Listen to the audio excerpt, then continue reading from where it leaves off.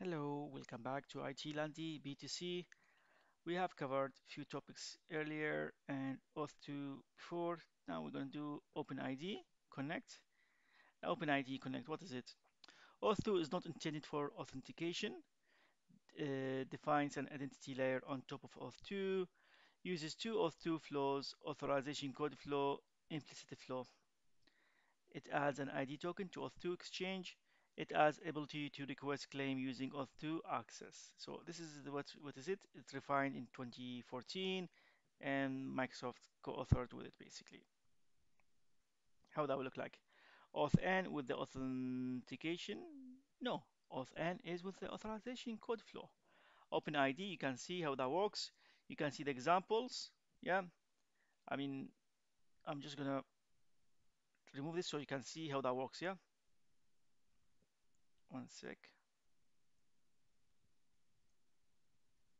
Okay, so OpenID Connect provider, uh, step one, client registration, auth-n request, then auth-n response, browse to the log, web application. So client register with OpenID Connect.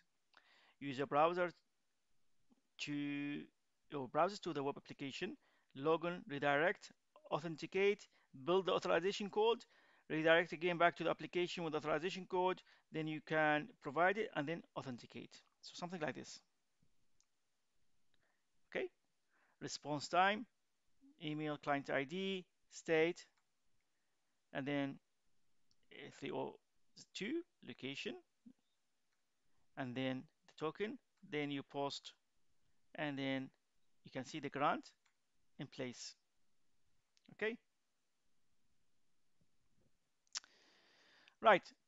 Next, user info endpoint return additional claim about the user REST API authentication with a token received for the open ID. and you can see this is very similar to what we do with all this JSON nowadays, you know, given name, surname, email address, and so on, yeah. Then web application integration. Web app may be written in many different languages that support OpenID. Some of the examples, .NET, Java, Node.js, PHP, single page application, not support at this time. Yeah, so you have to use web. Invoking the policies, we saw this earlier, but this time you need to target the protect area of your code with policy, invoking this policy per area to enable us to retain the information we need. Mobile application, use OAuth2 to access token for web uh, API. Microsoft Authentication Library is available for iOS, Android, and simplifies the OAuth2 integration. And it's like native client for iOS and Android. Some of the examples, here we go mobile signing experience, something like that.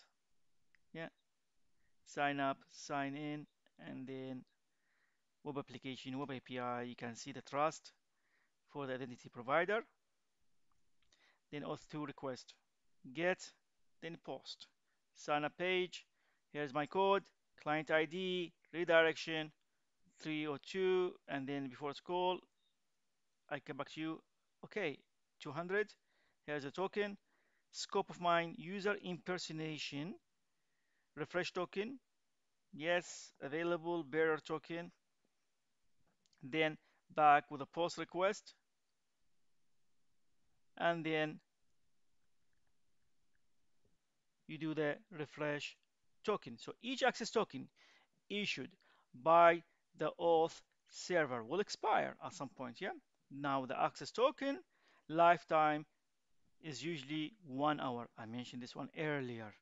When an access token expires, the application can get new access token using what?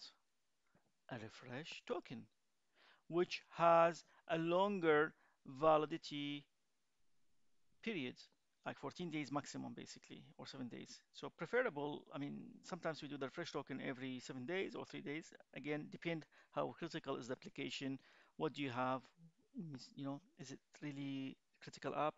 Then you can do it very short.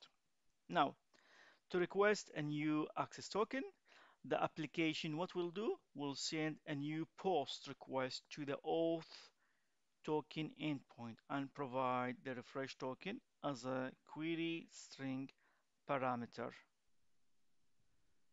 Repeat, to request a new access token, the application sends a new post request to where?